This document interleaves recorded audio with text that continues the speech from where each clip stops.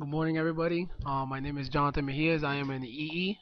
Uh, we have Sai Khan, he's also in the EE, and we have Rydon Samaru, he's our computer engineer. And today we're going to talk a little about our autonomous quadcopter. Uh, now Syed is going to present to you why we chose this design. Okay, so the reason why we chose a quadcopter over, let's say, a plane or just a regular helicopter was uh, that we thought it was uh, mechanically simpler because since we're not uh, MEs, we don't know um, how to build devices that could uh, vary the pitch of things. So we wanted to keep it as simple and straight to the point as possible. So we know enough about motors and speed controllers that we just have to vary the RPM rather than the pitch. So that's why uh, one of the reasons why.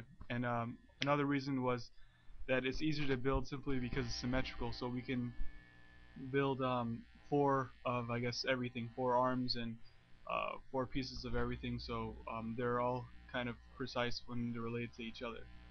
Uh, and so uh, we thought it would be a simpler control because all we have is uh, motors and the only thing we're controlling is the RPM of the motors. And basically, um, as opposed to our regular helicopter which has uh, one main rotor, this has four main rotors and that, that's going to give us more lift.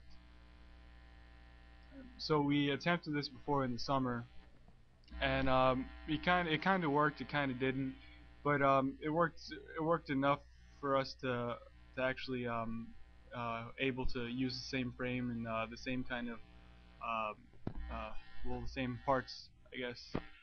Uh, so the the main problem with this approach was that we approached it as hobbyists and we just um, kind of got motors that were that looked like they would work and we kind of we didn't we didn't delve that, um, too much into the the spec sheets and uh, and all these things like that. So um, it was kind of like a guess and check um, way that we approached it. And this uh, this is called a bottom-up approach, and it didn't work that great.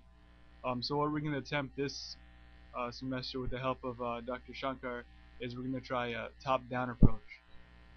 And this approach is uh, we're actually going to approach this like engineers and we're gonna get the spec sheets for the motors, the rotors, and uh, the accelerometers, and, and the microcontroller, Arduino, and we're gonna um, we're gonna I guess take all these values that they have there, and we're gonna make them relate somehow.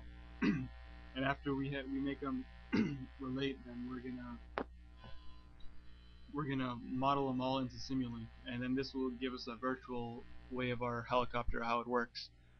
Um, let's see so we have a few things to do and one of the main things would be the, the control loop. So this is what we're working on uh, right now because we're gonna we have to model all this into Simulink so the control loop is the first and foremost because if we don't have the control loop then the aircraft is gonna fall. Um, second is uh, the DSP what we ran to last semester we realized that um, there's a lot of vibrations and that throws off the readings of the accelerometer. So we need um, we need to, to I guess, eliminate that uh, effect of the vibrations on accelerometer, how uh, how the Arduino would process that. So we'd have to take into account um, take into account the vibrations. So we have to build a filter to see if you can filter out, filter out as much of the vibrations. And um, we have to do the lift model because uh, last semester we kind of just assumed what would make it fly, but this semester we're actually gonna take the mechanical and aerodynamic models and equations and we're gonna see which one uh, how much uh, weight we actually can use and how much um, thrust our uh, motors will give us. And also we uh, are gonna have to conserve space because with the DSP and the controls loop um, these are probably gonna take up a lot of uh, uh, memory on the Arduino so we might have to go down into a lower level language to accomplish these so the accelerometer we did is this off-the-counter accelerometer. Uh, we got it from Radio Shack, and it's uh, used in in uh, a lot of hobby things. And um, for our project right now, where we just want the helicopter just to go up and be stable, just hover, I guess, and then come back down, this is good enough. When we're going into movements, then you would have to get a gyroscope also. But for what we have now, this is good enough. Um, so it works basically um, as a level. So when it's flat, it reads there's two outputs. There's a Y output and there's an X output. So when it's uh, flat, it gives us a 50% duty cycle on both of them, and then when we tilt it, it gives us, um, depending on which direction you tilt it in, it gives us like a 51 or uh, 49, and it'll go with it. So uh, the next thing we have is the motor and speed control, and then John will talk to you about this stuff. Alright, originally um we had used brush motors and we noticed that their efficiency wasn't so good. So now we decided to switch to brushless motors. Um, and these brushless motors that we're using, their maximum efficiency is about 96%. their weight is about the same with the other motors that we are using of 37 gram. And with the loaded maximum loaded speed that they can go is about 55,300 revolutions per minute. also, originally with the brush motors, we had used um, some MOSFET um, amplifiers. Um, the problem with these amplifiers is that they will get way too hot.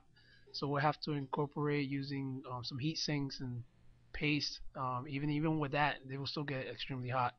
So we decided now to use um, electronic speed controllers that will be attached now to the brushless motors.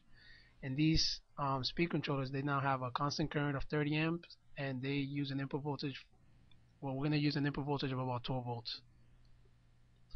Um, right here, um, as you can see, we have the lift equations that we're going to use to model uh, the helicopter. Um, when that started from the top left, um, we have you know the equation right there is showing the lift, and that lift is giving in newtons. Um, and going down, you know, we have the coefficient of um, lift, which is CL.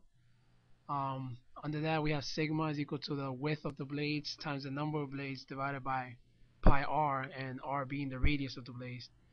Um, the rest that we have, the rest of the things that we show are, are the lift force, rho is the air density, which we have.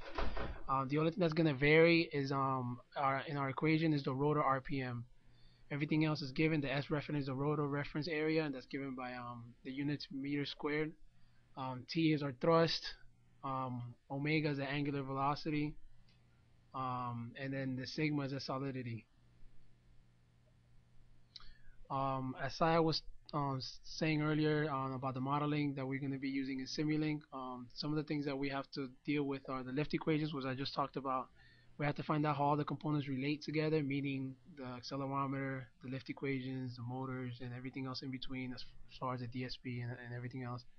And we'll have to bring them all to physical values. We also have to test all of these together and use different scenarios and make sure that our model works right. Um, now, Rydon is going to go ahead and talk to you a little more about his part of the project. Thank you.